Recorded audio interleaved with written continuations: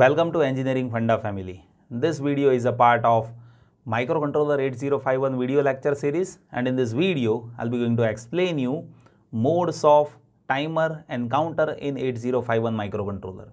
If you see my previous videos based on timers and counters in that I have already explained you how we can load the value of count inside timers right as well as I have already explained you how we can configure timer and counter by using TMOD and TCON resistors. In this video I'll explain you how we can operate with various modes of timers and counters. So for that you need to see how TMOD resistor is there. If you see the basic format of TMOD resistor, in that for timer 0 and for timer 1 we have two bits those two bits will identify in which mode timer is working. So obviously by 2 bits, how many modes that we can select? 4 modes. If it is 0, 0, mode 0 will be there. If it is 0, 1, mode 1 will be there. If it is 1, 0, mode 2 will be there. And if it is 1, 1, then mode 3 will be there. So I'll explain you all these modes along with practical examples so that you will be having fair enough idea about how exactly these modes are working with 8051. Let us see all those things step by step. So my dear students, when we talk about timer mode 0, that is operated as per 13 bits of timer counter. Here my dear students, you should know to select mode 0, we need to keep mode bits as 00.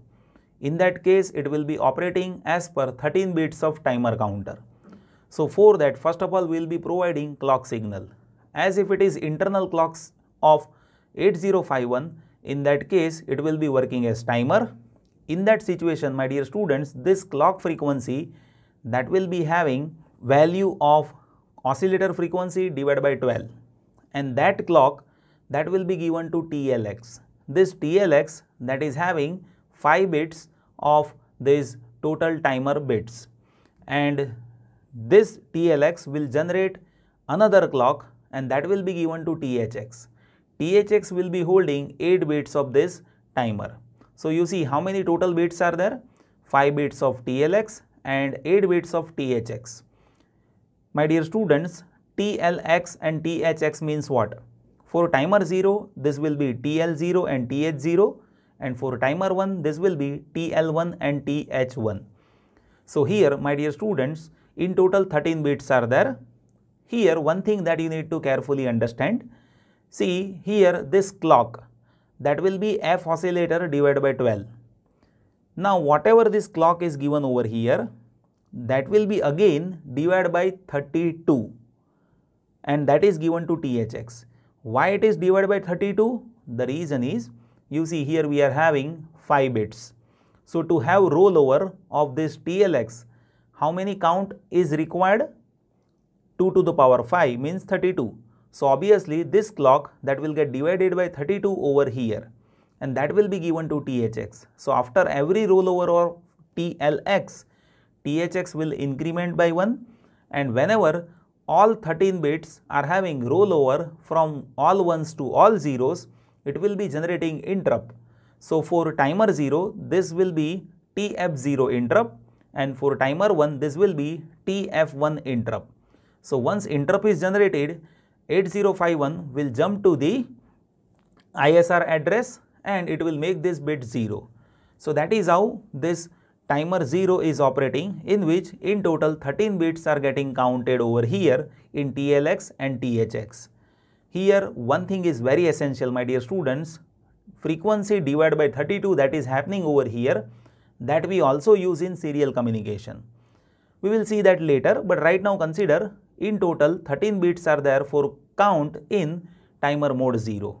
So here TLX is holding 5 bits, THX is holding 8 bits, in total 13 bits are there for count in mode 0 of timer with 8051.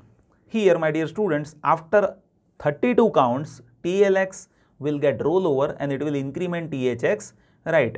Here TLX will divide frequency by 32 and my dear students you should know maximum count will be how much?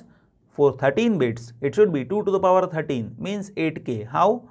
2 to the power 13 means 2 to the power 3 into 2 to the power 10 2 to the power 10 is k and 2 to the power 3 is 8 so you can say 8k 8k means 8192.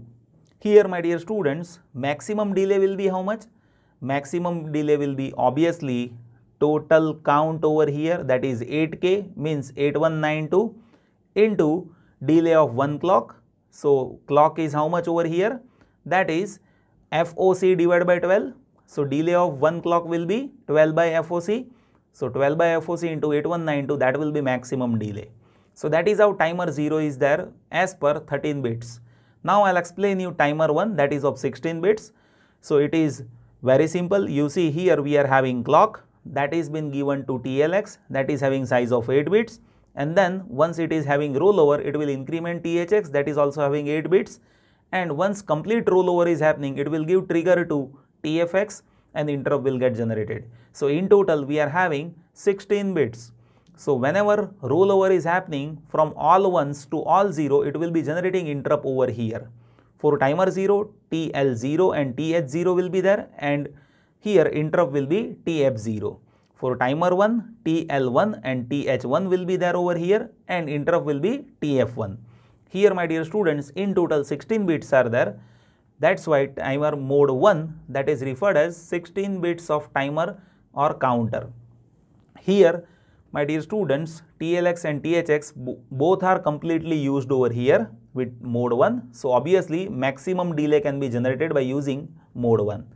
Here on each clock 16 bit will increment by 1. So this 16 bits that is there as per TLX and THX that will increment by 1 with respect to each clock which is given over here and this clock has to be f oscillator divided by 12 for timer operation remember this. Here my dear students TFX will get set to 1 whenever rollover will happen from all ones to all zeros means in hex it will be FFFF to 0000.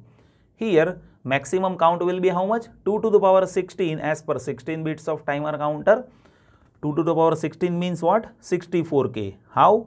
2 to the power 16 means 2 to the power 6 into 2 to the power 10. 2 to the power 10 is k and 2 to the power 6 is 64. So 64k that is total maximum count. Here my dear students based on that you can say maximum delay will be how much? 64k is 65536 that is 2 to the power 16 into delay of 1 clock that is 12 divided by FOC. As this clock is how much? FOC divided by 12 means 12 by FOC that is my delay of 1 clock. So, total delay will be this. Now, my dear students, I will explain you mode 2 timer that is 8 bits auto reload TL from TH. This is quite simple. You don't need to worry about this. It is very simple. Just see this. Here, my dear students, you observe here we are giving clock to TLX that is having size of 8 bits that is counting one by one. Once rollover is happening then it is doing two things. It will be giving this interrupt over here with TF and it will be also providing signal over here for reload. So reload is happening from THX. So my dear students automatically reload will happen with TLX from THX Along with that, here when rollover happens at that time, overflow will happen over here. So with every clock, TLX will increase and when rollover happens means when there will be FF to 00 with TLX at that time it will give interrupt over here on TFX at the same time it will give signal here this signal is providing reload of THX over here with TLX. So automatically reload is happening over here, right? So that is what timer mode 2. Here you see 8 bits of count will happen with TLX with auto reload. Remember this. So my dear students, TLX will increment after every count or every clock that you can say. Here when TLX rollover happens from FFH to 00H at that time two events are happening. One is interrupt over here on TFX and second is auto reload from THX, right? Auto reload of TLX from THX. Here maximum count will be 2 to the power 8 means 256. So obviously maximum delay with one reload that will be 256 into 12 divided by FOC. This 12 divided by FOC that is my delay of one clock over here for timer. For counter obviously you will have to count this as per external clock. Here my dear students now let us see how mode 3 is there. So mode 3 that explains you when mode bits are 1 1 at the time mode 3 is there with 8051 and in that two 8 bits timers are there by timer 0. You see how it is happening. So one timer that is there with respect to TL0 and second timer that is there with respect to TH0. Both are taking clock signal over here as input and count will be loaded in TL0 and TH0. Both are separate timers, right. This TL0 that will give interrupt to TF0 interrupt and TH0 that will give interrupt to TF1 over here whenever there is rollover from all ones to all zeros means FF to 00 in hexadecimal. That is how we can have two separate timers using timer 0 in mode 3.